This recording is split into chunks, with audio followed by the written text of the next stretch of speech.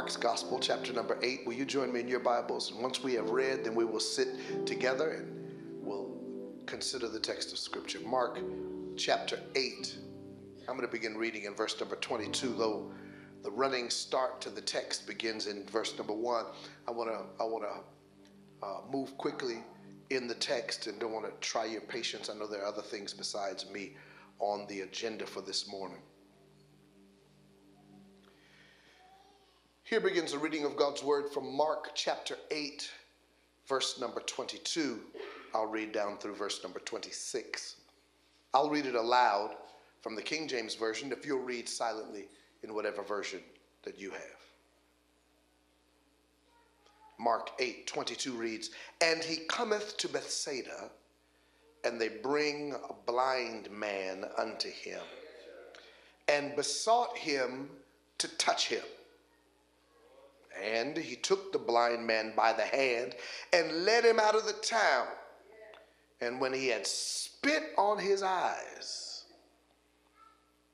and put his hands upon him, he asked him if he saw aught. Do you see anything? And he looked up the blind man and said, I see men as trees walking. After that, Jesus put his hands upon his eyes and made him look up. And he was restored and saw every man clearly. And he sent him away to his house, saying, Neither go into the town, nor tell it to any in the town. This is the word of the Lord. Y'all say, Thanks be to God. I'm going to give it again. This is the word of the Lord. I want to talk to you for the next few moments that have been allotted unto me on the power of another touch. The power of another touch. You may be seated in the presence of the Lord.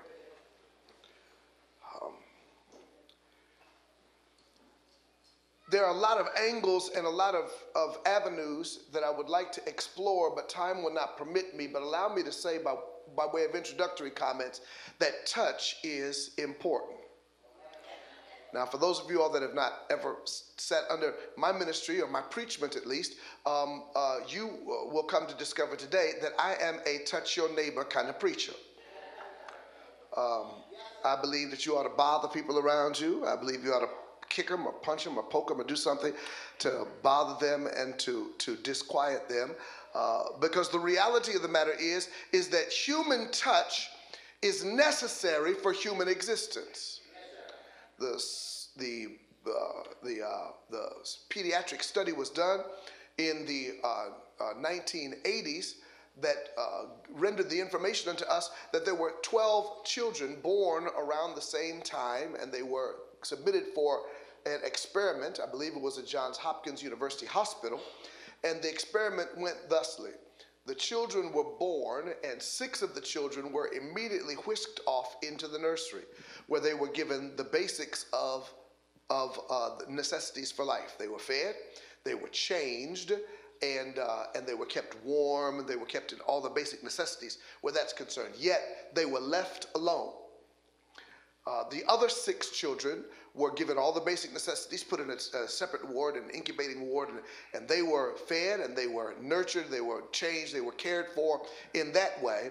But for several hours of the day, like any new mother, they were held, they were touched, they were caressed. And what they discovered was after six weeks in this particular experiment, the children that had been held and touched with human hands uh, in addition to being changed and being fed, were developmentally 40% ahead of the children who had not been touched.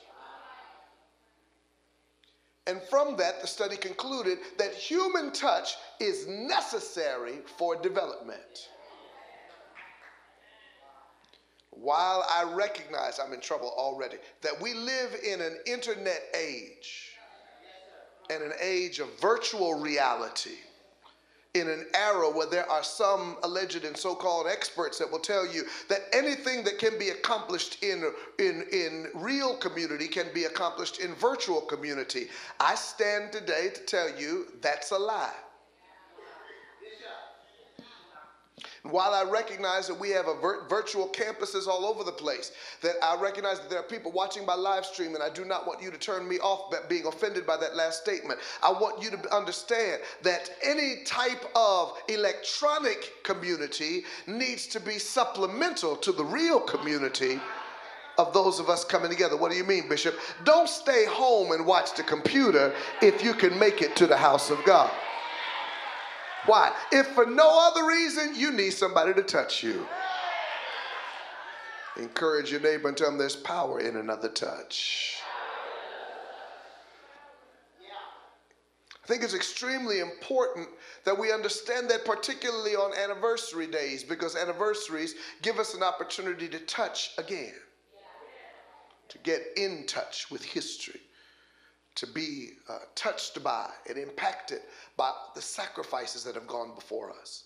The people, some of whom who are no longer with us, touched by memory, touched by sentiment, touched by devotion to principles, things that we started doing 23 years ago that were bedrock principles for Rhema Word Church are still being carried on today. And dear friends, every now and then we need to be touched by that to remember why we're doing this anyway. And so the text reveals to us some curious things about the power of another touch. The chapter in a nutshell, beginning in verse number one, reveals that Jesus fed 4,000 earlier in the text. Uh, some of the numbers are different from numbers in, in, the, uh, in other accounts of Jesus feeding multitudes, and you have to decide whether or not it's the same account being told in a different way in a different gospel, or you have to decide whether or not Jesus fed more than one multitude. Really doesn't matter to me either one. My, my hermeneutics allows for both. They're not mutually exclusive. Because the reality of the matter is, wasn't nobody sitting there scribing things and writing down and counting the people and all that. No, they were telling the story. Can I say that? Are y'all mature enough for me to say the details aren't as important as the as the ethos of the story? The story is that the bottom line is Jesus can work miracles. If you're hungry, he can feed you the text opens up with Jesus feeding 4,000. And then, and then, then he, he, he, and his disciples take a boat and cross over. And, then, and when they get to the other side, they, they get to the house of fishing, the city of Bethsaida.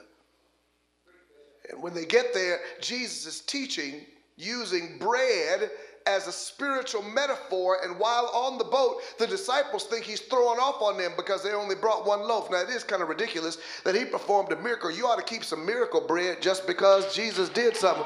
And they get on the boat and act like, you know, that wasn't nothing. They only have one loaf with them and then they're hungry. And so Jesus uses this bread as a metaphor. And finally, he critiques the Pharisees' need for a sign when they get to the other side in Bethsaida, and the disciples' lack of understanding about bread and what he just performed by way of a miracle. This miracle that he performed that we read about, where the blind man is concerned, was birthed out of Jesus' frustration. Now, I know that some of your theology doesn't allow you to let Jesus get frustrated. I know some of y'all only want to see him as sweet and nice and docile and always with a smile on his face and kind of frail and maybe even a little effeminate and all kind of, you know, get sissified with flowing locks of hair. But, but that's, that's not the Jesus that I've come to know. See, the cat that carried that cross up the Via Dolorosa all the way up to Calvary, you realize that cross weighed about 220 pounds. Jesus had to be kind of a man's man to be, take a beating and then carry that cross up to here. He was a carpenter, y'all. He wasn't a seamstress. Jesus was kind of a man's man in my estimation. Dr. Edwin Louis Cole, it is in his seminal work, The Maximized Manhood, said that Christ likeness and manhood are synonymous. To be a real man is to be Christ like. I mean, Jesus had to have some intimidation about him in, in, in, that he went into the temple where folk were making money and start flipping over tables and chairs and driving people out with a whip, and nobody stood against him. kind of suggests to me that Jesus would put something on you if you come up on it.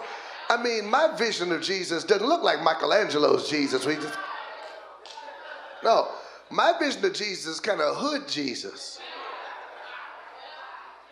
joker that would knock you out if you try him. Anyway, I'm just saying, uh, you know, the, the, the text, the, Jesus got frustrated. It seems to me that Jesus frustrated when I read verses 10 through 12. He's frustrated with the Pharisees for their need for a sign. They're always making him have to prove himself. And I don't know if that resonates with anybody in the room, but I've learned in my 52 years of life, I am, I am no longer hanging out with people that keep on making me prove that I am who I say that I am and trying to make me try, always putting me to the test that. That devil is a lie. I am 52. Think of me the way you want to think of me.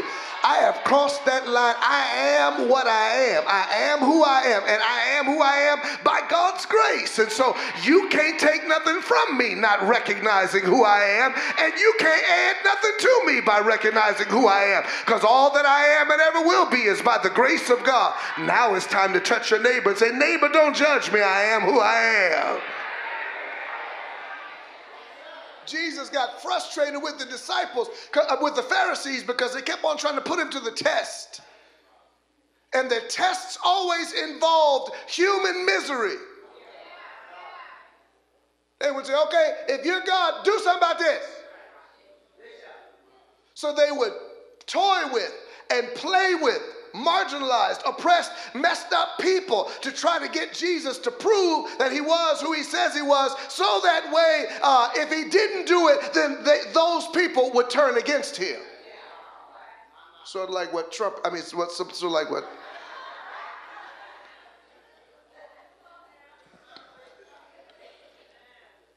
They, Jesus was frustrated he was also frustrated with his disciples. If you read verses 20, 14 through 21, that whole conversation about bread that he uses as a metaphor comes up in verses 14 through 21. It's before our text. I just want to kind of bring you up to speed so that when we dive into our text, we can understand what's going on. Jesus is frustrated with the disciples. Like, I just broke all the, y'all only brought me a few loaves and and a few fish. That's what the text says. Doesn't say you know two and five like it does in the other text. But but the Markan uh, rendering of it says they brought him a few loaves, and then and then later on it says he began to break the loaves, and later on it says and some had a few fish.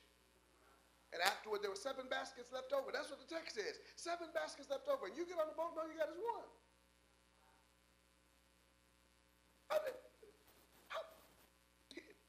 I'm always frustrated by people who have experienced miracles but don't walk in the miraculous. Okay, let me see if I can say that differently. Some of y'all have seen too much to still be broke. Some of y'all have experienced too much to not walk in the favor of God. Some of y'all have sat in atmospheres where God has been moving so mightily and you have never ever experienced it. And then you get on the boat of life on the sea of your journey and you only have one loaf with you. What happened to them seven loaves, seven baskets you were just dealing with? Can I suggest to you, you ought to take something out of every experience. That's why when other people shout, you ought to shout. Y'all missed it. I saw it when it went past your head. Because just because God's blessing them doesn't mean that there's not something in it for you. Now it's time to touch your neighbor on the other side. Shake the hand and say, Neighbor, you better get in with me today because I believe God's got a blessing for me. But that blessing's going to spill over into your life just because you're sitting next to me. You've got to learn how to eat from somebody else's basket.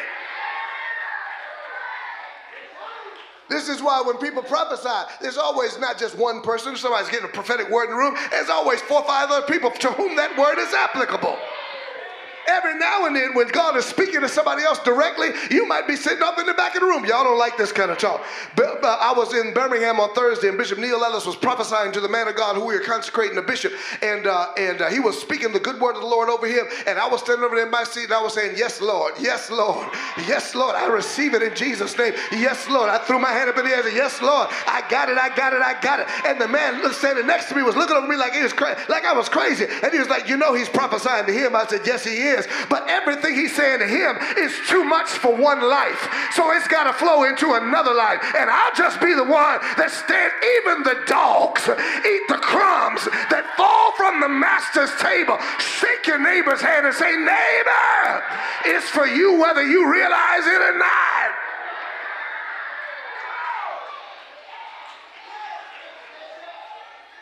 Jesus is frustrated with the disciples. Said, What's wrong with y'all?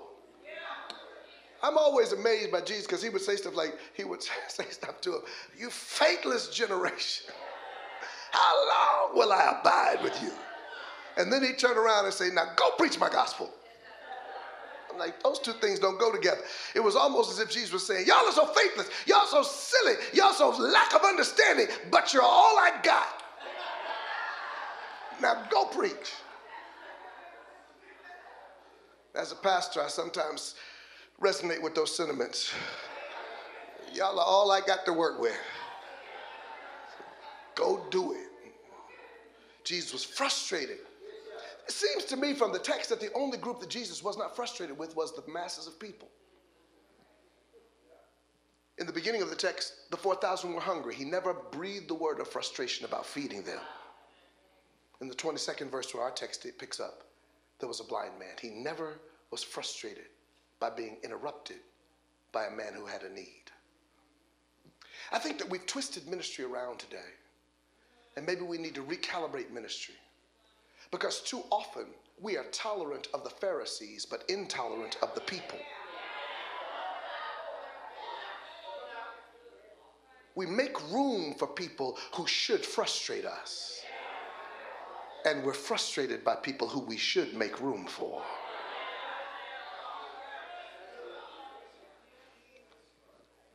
So the text gives us an indication that Jesus was frustrated by Pharisees and undiscerning disciples, but he had infinite amounts of patience and understanding for hungry masses and blind individuals. So he comes to the house of fishing, the city of Bethsaida, and they bring to him a man who was blind. And they asked him to do something about this man's blindness. it's curious to me because when I've previously, I, when I was a child and I would hear people preach this text, it was curious to me. They always talked about a second touch, and I was tempted to entitle this sermon The Power of a Second Touch until I realized something that before he touched his eyes, he touched his hand. The Bible says did y'all read it in your text? Let me see. I'm going to get back to my Bible. I'm, I'm operating with just my iPad today, so pray that the battery doesn't go out. Um, uh, the, Bible, the Bible says, He comes to Bethsaida, and they bring a blind man unto him and besought him to touch him. And he took the blind man by the hand. Everybody say that's the first touch. What a curious thing. He, he takes him by the hand. You see, in our era of laying on hands, we lay hands on people where the infirmity is. And the, but the Bible says he took him by the hand, and not only did he take him by the hand, what else did it say he did to him? Y'all still reading? Took him by the hand and did what? Led him out of town. It's a curious phenomenon because Jesus' first touch was not a healing touch. Jesus' first touch with the blind man was seems to imply that if you have my guidance, you don't need sight. Could it be that we are asking him to give us sight when we really need guidance? Oh my God. Oh my. Oh my God. The truth of the matter is, some of us have confused sight with guidance. Here, let me see if I can say that differently. If you can't trust him when you're blind, you won't serve him when you can see.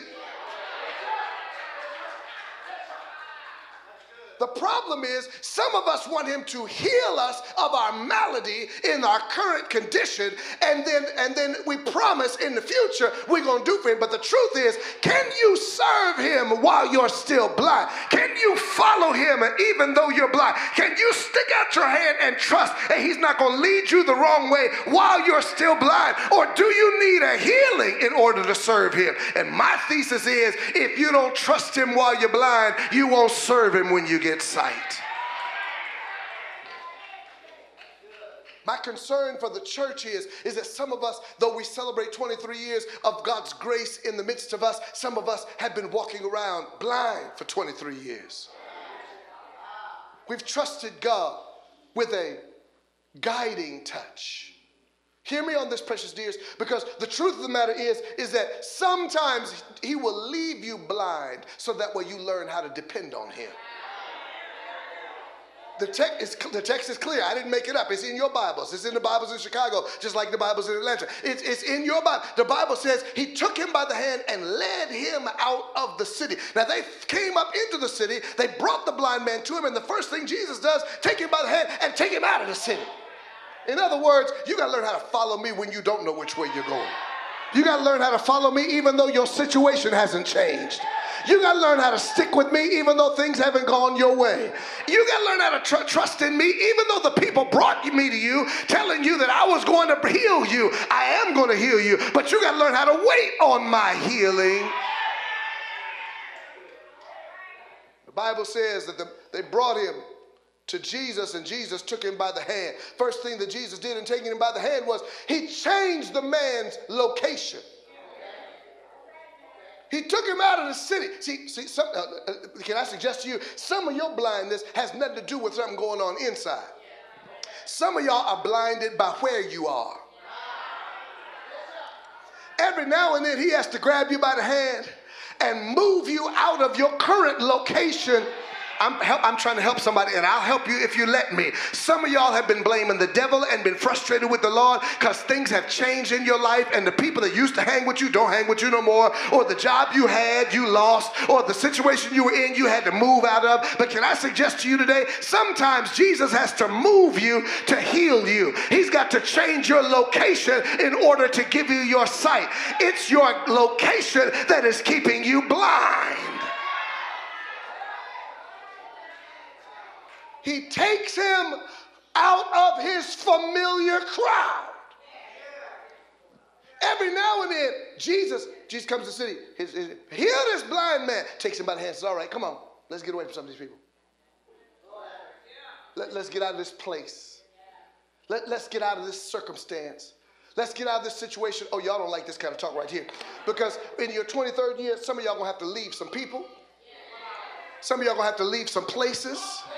Some of you are going to have to relocate in order to see because your circumstance is keeping you. But y'all don't like this this kind of talk right here. Because, see, you don't want to admit that it is the small mindedness of the people around you that keep you blind to the fact that you could be the CEO of the company. But the reason that you stay small is because you're trying to impress people that only like you when you're blind.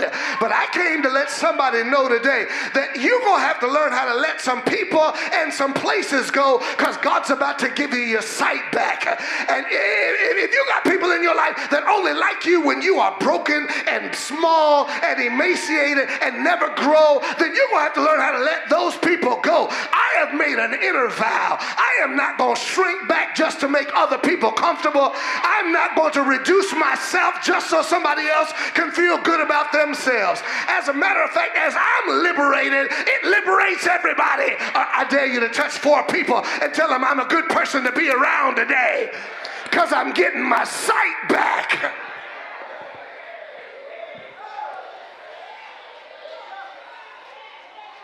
Yeah. Yeah. I'm concerned about some of y'all's friends. I'm concerned about some of y'all hanging out with people that only like you when you broke. Only like you when you're small. I know I got that right because the minute you start ascending, the minute you start moving towards sight, they start saying stuff like, I don't know what's wrong. You changing. Things are different. You don't call me no more. No, I don't call you no more. Let me tell you why I don't call you. Every time I call you, you make me blind. Every time I call you, you keep me broke. Every time I call you, you make me feel worse about myself. The devil is a liar. I got to get around people that recognize that if God be for me,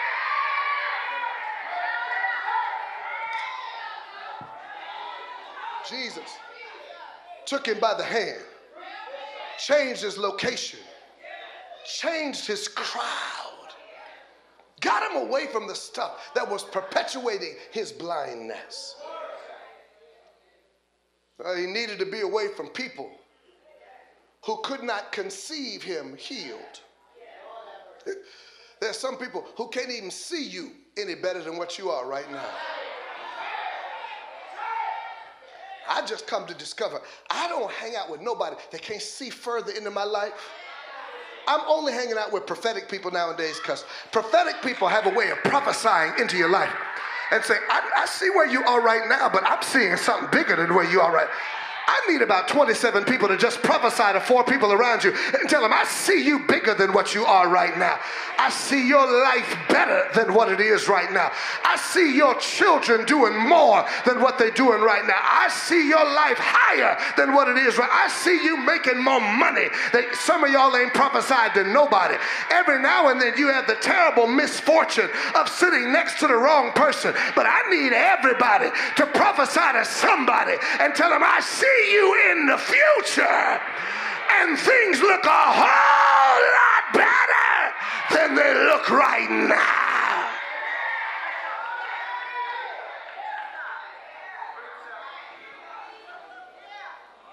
I don't too much hang out no more with people who can, are only comfortable with me if I'm beneath them.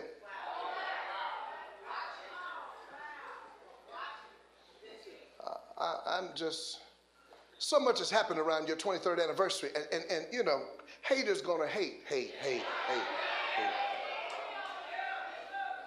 Shake it off, shake it off. I'm just saying.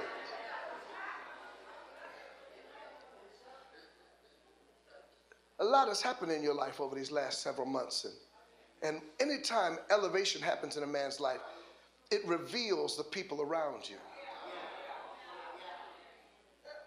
And, and I, I have stopped feeling guilty about trying to take people places that they're not constitutionally ready to go. Let me let y'all in on a secret. Everybody in your life is not healthy enough to go where God's trying to take you. not disparaging people, but all I'm saying to you is sometimes you and I relegate our own lives to a particular station so that way other people will be comfortable with us. And Jesus is guiding us, trying to bring us to healing, and we are pulling back, saying, No, I want to stay here with these people because they like me blind.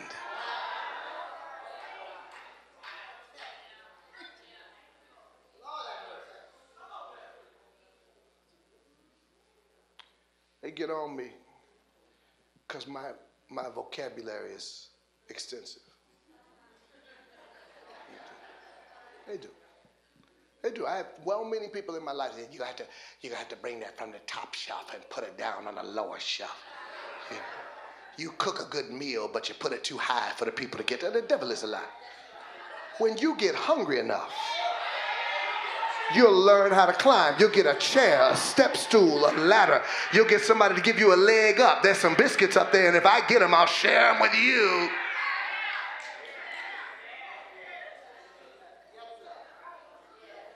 I mean, come on, I paid too much money going to all in colleges and universities and schools for me to come out and split verbs and can't conjugate tonight. Y'all not saying nothing to me. Come out here, my subject verb don't agree just to make you comfortable with me. Devil is a lie. I think it's important, y'all, because everybody is not happy. Now, I got two or three more points on these, but I feel really drawn to help Rhema Word Church understand that where God is taking you is not a popularity contest. Everything popular ain't godly. As a matter of fact, I'm typically suspect of the stuff that the crowds run to. Now, I believe everything that God's in is ought to grow. I've, I've experienced it, I've been there, done that, spent the night and got the t shirt. And it ain't all that it is cracked up to be. Because what I've come to find out is that when things continue to get uh, let me see if I can say this the right way. People typically do not invest the kind of spiritual or emotional equity into something as long as it is serving them. But the minute that it, it takes a turn for something outside of their interests and needs, they divest their spiritual and emotional energy. Does that make sense to you? It's like the, my children. When my children were small, we used to take them to, to Six Flags, or take them to Disney World. Take, take, we take them all some, some everywhere. And when we'd be driving back, we'd be coming back from Orlando or something. We'd spend at Universal Studios. I'd spend thousands of dollars entertaining them. We come back and they stop at McDonald's to eat and they go in there and get a meal and all that other stuff. And we try to make back to Atlanta a certain amount of time and everything. And then there's, you know, some of the McDonald's on the road, they have a playland out there. And then my three kids come, Daddy, Daddy, can we go out and play in the playland? No, baby, we got to hurry up and get back on the road and get going. And then they have the gall to look me in the face and say, We never get to do anything.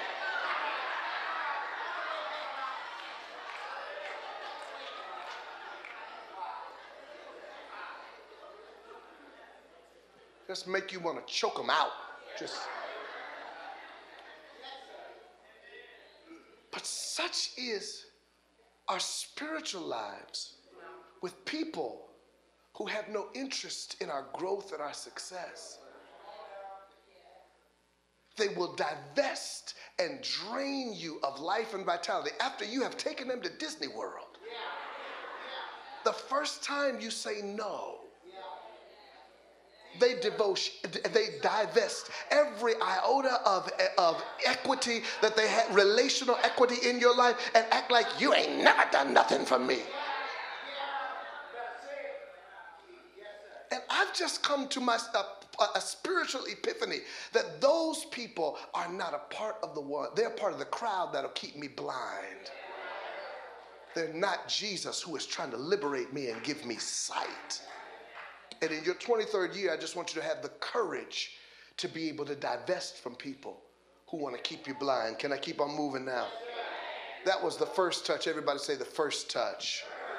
Now, the, the first touch was a converting touch. The first touch was a guiding touch. The first touch was Jesus taking the man by the hand.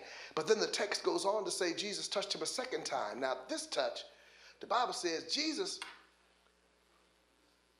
I want y'all to, I don't want y'all to try to make this no nicer than it was. Your Bible says that Jesus took him by the hand, led him out of the city, and spat on him. And the man was blind. So that means he didn't spit on his feet. Jesus spit in the man's face. Now, let me just say something to you. This furthers my thesis on the robust nature and personality of Jesus. Because if Jesus had been some frail, effeminate, sissified man, blind or not, you spit in my face, we got to throw down. But maybe it was that Jesus was too beefy for this man to even come against it. That's a hermeneutical hypothesis. It's not in the text at all. Don't be looking for it. But the first touch was a guiding touch. The first touch was a converting touch, but the second touch was an uncomfortable touch. Everybody wants a guiding, loving, converting touch. But may I suggest to you, anniversaries, when things come around, every anniversary hasn't been comfortable. Some years you're plagued with discomfort when you're buying property or fixing things or having major expenditures or, or just had a mass exodus and you got to celebrate anyway. Or just went through a scandal and you got to celebrate anyway. The Bible says Jesus spat in the man's face. It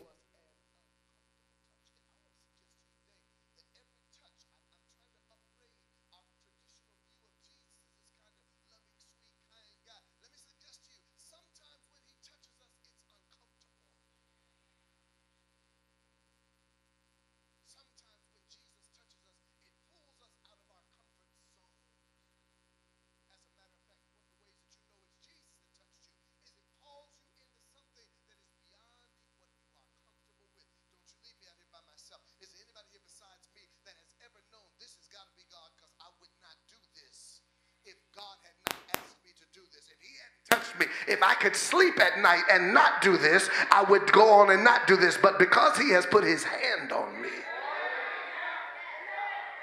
it's an uncomfortable touch.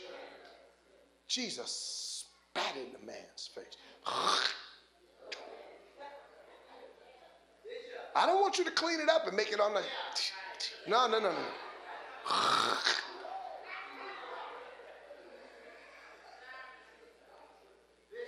He spat in the brother's face, laid his hands on him.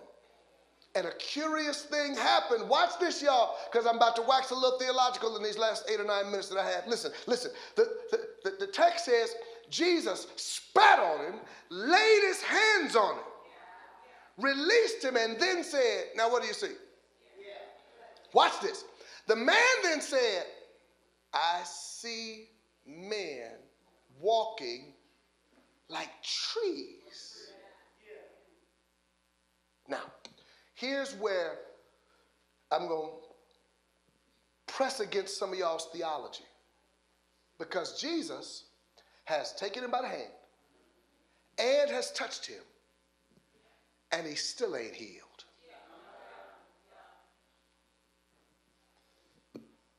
Jesus, who has sent his word and healed Jairus' daughter. Jesus, who touched the coffin, didn't even touch the boy of the widow woman of Nain, and her son rises up. Jesus, who stood outside of the tomb of Lazarus, and said, Lazarus, come forth. And he raised up from the dead. But he has now taken him by the hand, spat on him, and laid his hands on him, and this man is still blind. And now you have to ask yourself the theological inquiry as to whether or not he has the power that we say he has. Because if he had the power we said he has, he would have healed him on first mention. I mean, we, it's good, good preaching point. We started to preach about Lazarus, and we say he had to call him by name because if he'd have just said, Come forth, everybody dead in that tomb would have got up out the grave because he's got that much power, so much power. Oh, power. We in every sermon on Easter Sunday, he got up with all power in his hand. Uh, you know, but can I suggest to you today that he took him by the hand and he wasn't healed? He spat on him, he didn't get healed he laid hands on him and he still wasn't healed. Could it be that we are now having to deal with a side of healing that the church doesn't want to deal with?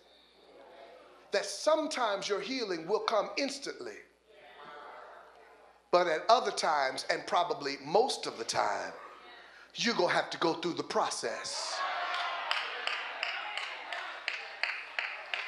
And maybe some of us are frustrated this morning because we've got a first touch and a second touch. We've been following while we're blind. We've suffered the indignity of the uncomfortable touch, and yet we are not healed. Can I suggest to you today that some of your healing is going to come through your persistence?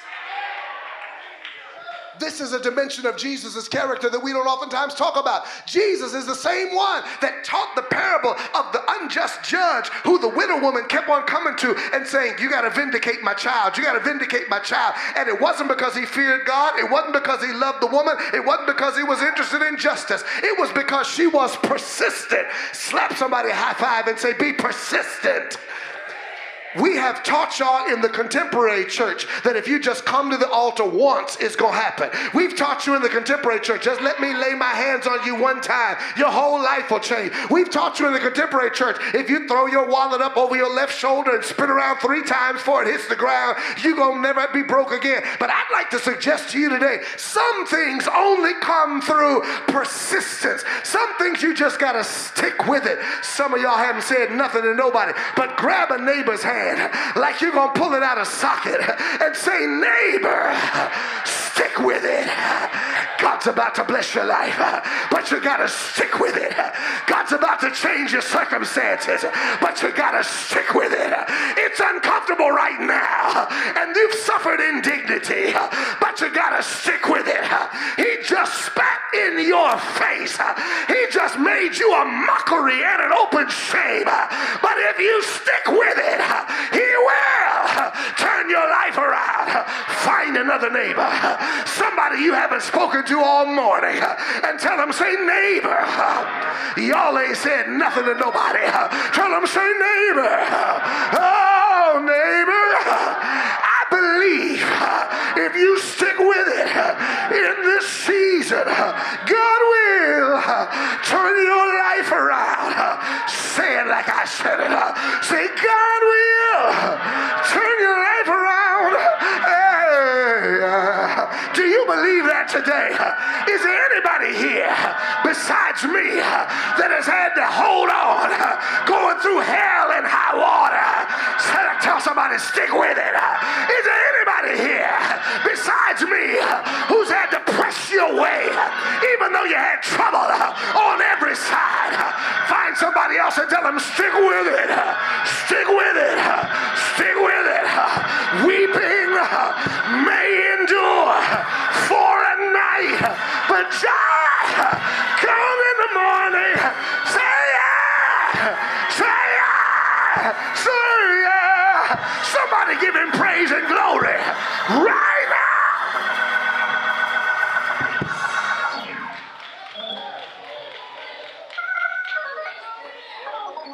Listen, Jesus spat on him. It was an uncomfortable touch. See, prior to the discomfort, the man couldn't see anything. But after he went through an uncomfortable situation, he couldn't see things totally, but he could see things differently. Could it be that sometimes discomfort is not designed to clear it up totally? But it is designed for you and I to begin to entertain the possibility that there is another way of seeing this. I'm always concerned about people who are so myopic in their vision that they never consider that there may be another way.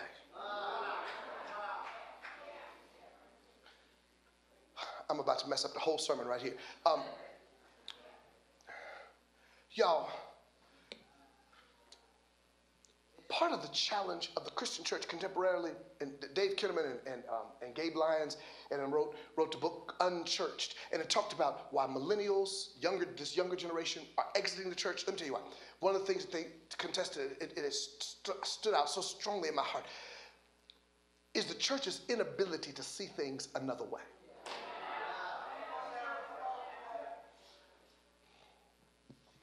See, when you start talking like this, people start thinking that you're risky. They start questioning whether or not you're orthodox in your theological proposition. No, I'm orthodox, I'm just not dogmatic. Because I've lived long enough. I'm 52 years old. I've lived over half a century. I've been in church all my life. I've been preaching since I was 12. I got 40 years in the ministry. I'm not no novice.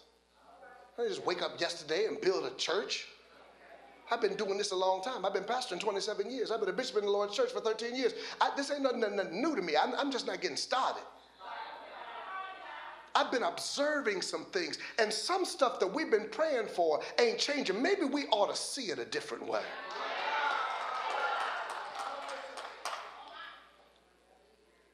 Maybe, maybe, instead of looking at that young lady who has had all them babies out of wedlock, instead of calling her loose and promiscuous, maybe we ought to see it a different way. Maybe that man's strung out on drugs and, you know he, he- like you got to make the choice. You got to make the choice. If you ain't never been hooked on nothing, don't talk to me. See, that's that's why your neighbor won't say amen because they don't want you to know that they've had something that got a hold of them and wouldn't let them go. Some of y'all, uh, don't you leave me out here by myself. How many of y'all in here besides me have ever had the bad case of the can't help it? I would do differently, but I can't help it. I would change, but I can't. Some of us know the frustration of coming to the altar and saying, God, you're the only one that can fix this. If you don't change me, I will not change. But the church has stood over people, and instead of instead of feeding them, we ask them why they got in this condition. Everybody Jesus ever healed, he never asked him, Well, how in the world you get where you are? Jesus just said stuff like, Do you want to be made whole? And the uncomfortable touch, sometimes God has to send us through seasons of discomfort to get us to identify with people who are going through challenges of life that we would not readily identify with if we ourselves had not been discomforted. This is why I don't tell people, women in the Me Too movement, how they ought to feel. Because I ain't never been a woman. I never had a man. I, am a part of the movement in that I had, I had a boss when I was a, a public school teacher. I had a boss, one who was responsible for my, my, my supervision, one who was responsible for evaluations, one who was responsible. She came on to me. She wanted to, to, to have, I was single with cheek of tan and, and, and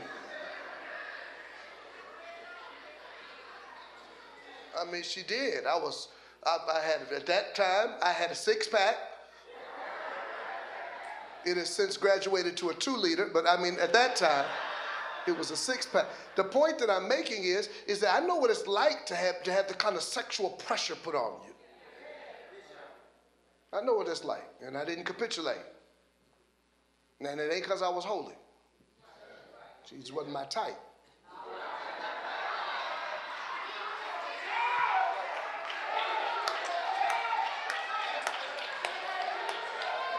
Y'all trying to act like y'all all spiritual and holy.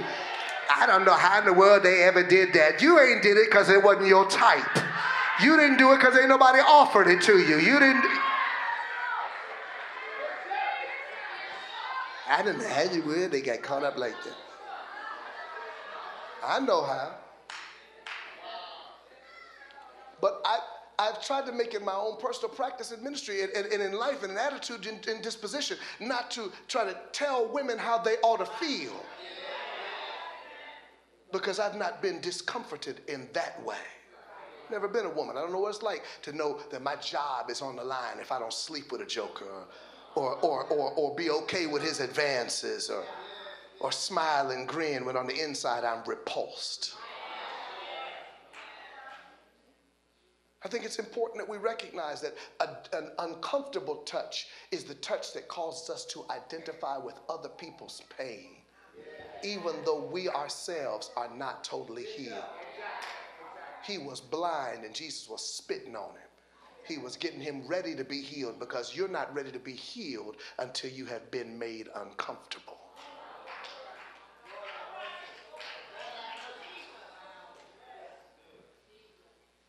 Text says that then Jesus laid his hands on him again, play unto me softly, I'm done. The text says that his first touch, he took him by the hand. Second touch, he spat on him. First touch was a converting touch, a guiding touch. Second touch was a discomforting touch. The third ch- touch was a clarifying touch. Bible says after he looked at him and said, What do you see? I see men as walking, men as trees walking. Jesus said, Well, that ain't right. Let's try this again. And it's not because Jesus tried the first time and failed. Jesus knew what he was doing. He was, it's a process. Send the man through. Can I suggest to you, Bishop, these 23 years have been a part of your process. Some of the ups and downs, some of the swelling and some of the diminution. Some of the people that have said, I love you and I'm with you forever, and then two weeks later they're offended at another church. Some of the brethren in the city who liked you as a pastor but will despise you as a bishop. It's a part of your process.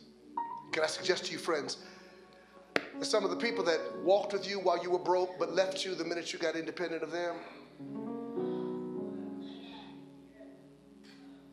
Can I suggest to you that the relationship that you went through, however sordid it was, that you thought you couldn't live without, but you had to live without because they left you.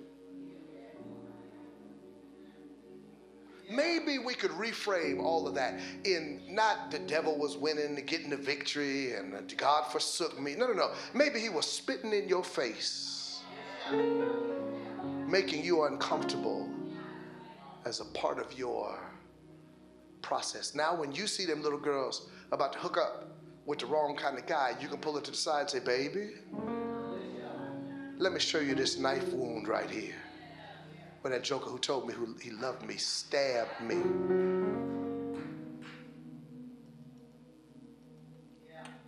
Because I've been through some things in my process that have clarified my vision. Jesus lays his hands on him a third time. Each of us spends seasons of our lives seeing people like the blind man the wrong way.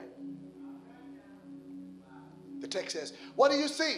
I see men as trees walk. That's the wrong way. He had a, a jaundiced eye. His view was skewed. His, he didn't see things the right way. And notice, notice, I said it the wrong way. He didn't see people the right way. I see men as trees walk. His view of people was skewed. And see here, friends, the key to success in life is the management of relationships. If you can't see people right, you can't manage the relationship right. Thus, you will not succeed in life. The whole of God's story in the planet is Jesus coming down to have relationship with us. And they the ones who rejected him didn't see him. He came unto his own, but his own received him not. But to as many as received him, to them gave he power to become sons of God, even to them that believe on his name. You see, friends, when you see your bishop wrong, you'll believe your coworkers when they say all he wants is your money. The reason that they say that they're not bad people, they just see men as trees. They need a clarifying touch. And you and I, who have walked with him long enough and have encountered him on the side of the road enough times, have had enough engagements, have, have had enough indignities, have had enough touches to be able to have clear vision. To be able to say, no, no, no, no, it's not that. My vision has been clarified. How? Because I've had several touches. This is why we encourage you to come to church. This is why we tell you to bring the young people to church. This is why we tell you to lift your hands and be involved, invested in the worship. Why? Because we know that every time He touches you, it gets clearer and clearer and clearer.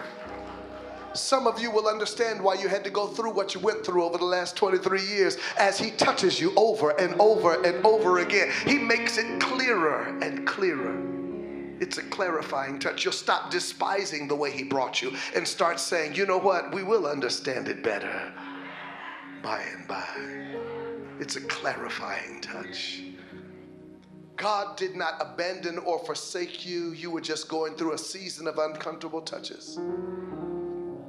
I know it was hard. I know it was difficult. It, it, in, in, in all human reality, some of it shouldn't happen shouldn't have happened. You're, you're the, the victim of a fallen system in a fallen world. He, he shouldn't have touched you like that. I'm not talking about God, I'm talking about that man. She shouldn't have messed over you like that. They shouldn't have fired you without cause. They shouldn't have arrested you for, for that little offense. They, you, they, you shouldn't have a record right now. You're living in a fallen society. And I know, I know we blame God made this and God caused this and God allowed this. But can I suggest to you today, maybe we could reframe that as my vision's being clarified. I no longer see men as trees. I'm beginning to see men as they are the goal in a 23rd anniversary is to not behave like we lived in our 22nd anniversary. In marriage counseling, I, I marriage counseling, Tony and I do marriage counseling. People are so frustrated they come to marriage counseling and it's, I like our marriage ought to be better than this. We've been married for 25 years. And they start telling us this story and all this stuff. And at some point, I just interrupt them and say, you know what? Y'all ain't been married 25 years. Yes, we have. We got married in 1993. No, no, no. Y'all haven't been married 25 years. Y'all been married one year. Y'all just repeated it 25 times.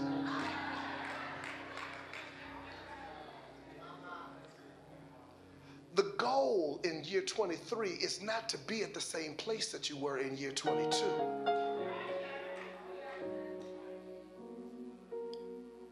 The goal going forward, y'all, is to receive the kind of touch, whether it's a guiding touch, a converting touch, a discomforting touch, or a clarifying touch. So that way, next year and the next year and the next, when we come back to this moment, your vision is more clear than it's ever been before. You know, don't, don't, I don't want to. I don't. I don't want to embarrass nobody. I don't want to put nobody out there. But how many of you know if I saw things five years ago the way I see them right now, my life would be different.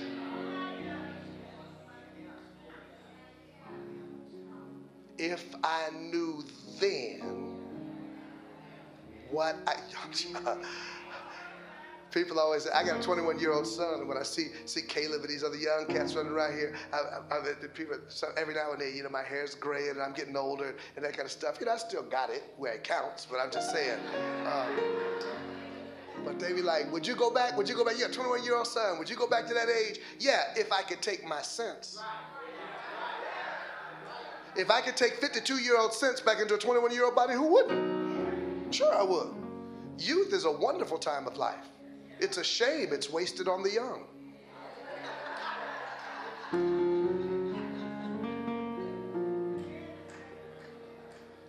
But see, in my 52 years, I've had enough touches to clarify my vision so I could see people more clearly today than I have before. They weren't against you, they were hurt.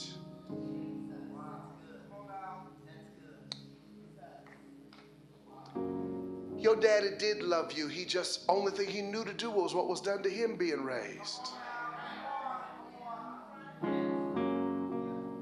He know no better. He, you, you do better when you know better.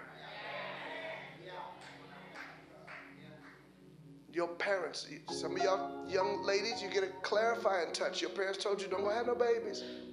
But when that baby comes, that clarifies it for you, doesn't it? Oh, this is why you didn't want me to have no baby. Because now I don't have a social life, and now I don't have no money, and now I'm up at 3 o'clock in the morning. It's a clarifying touch. I want to suggest to you today that Jesus, whenever we come into the house of God, He's here to clarify our vision, to see things circumspectly and more clearly than we've ever seen them before.